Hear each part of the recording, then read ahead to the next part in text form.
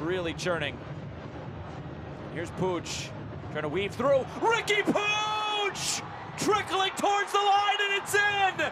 Are you serious, Riqui Puig?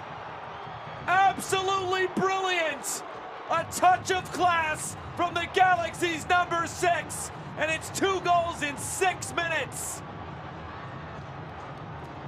Well, he's been brilliant all match, Riqui Puig. He's been stunning with the way he's set